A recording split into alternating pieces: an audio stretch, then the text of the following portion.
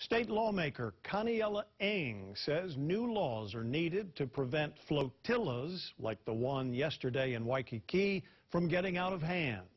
Officials say 20 people were treated yesterday, mostly from drinking too much. Ten of them were taken to the hospital. They range in age from 17 to 26 years old. A 19-year-old woman was taken in critical condition. So who's taking action and what needs to change? Manolo Morales finds out. Manolo? Joe, the problem is there are no laws preventing swimmers from drinking when they're out in the ocean, as long as they're at least 21 years old. And even if they are underage, that's hard to enforce. Representative Ing says that's become a loophole, and that has to change. Emergency officials estimate as many as 10,000 people were out in the water during the flotilla. And EMS tells us that hundreds of them had to be rescued, meaning that many people had to be brought in either by jet skis or any other vessel by emergency responders. Why is it not okay to drink on the beach, but it is okay to drink as soon as you step into the water? That makes no practical sense, and it's uh, endangering the lives now of, of many uh, young people. Representative Ing tells me the law needs to be changed that would make it illegal for swimmers to be drinking out in the water. That would allow law enforcement officers from the state land and natural resources to cite the revelers at the flotilla. From what I understand, DLNR cannot enforce, or the city cannot enforce on drinking laws beyond the beach. So once you step into the water, it's technically legal for you to drink alcohol. So that's where we need to step in and change the law, and that's ultimately the legislature's duty. Representative Ing says lifeguards, paramedics, and Honolulu police and DLNR officers did all they could do, but without the new law, the flotillas can still put too many people in danger. How difficult is it to enforce that law out here?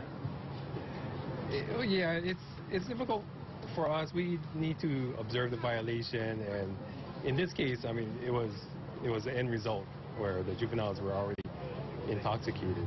We're not trying to impede on anyone's fun. Like, I'm a young guy. Like, I'm all for having fun responsibly.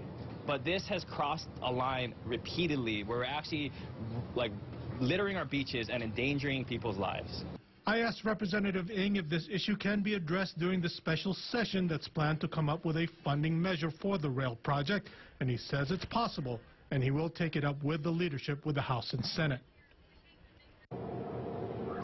Now, I also checked with DLNR. A spokesman tells me the state is looking at new rules that are similar to the ones adopted in San Diego that help solve the similar problem with the flotillas there. We'll let you know what those rules are. Manolo Morales, KHON 2 News. Another danger of these flotillas, the trash left behind. Environmental group Sustainable Coastlines Hawaii says it picked up about 300 pounds of debris after yesterday's event.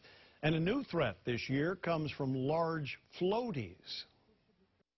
We ended up with a couple bags full of just floaty toys. Each one was filled with, I would guess, close to a million of these tiny uh, cylindrical styrofoam things that look like fish eggs. They float and they're going to get consumed by our wildlife.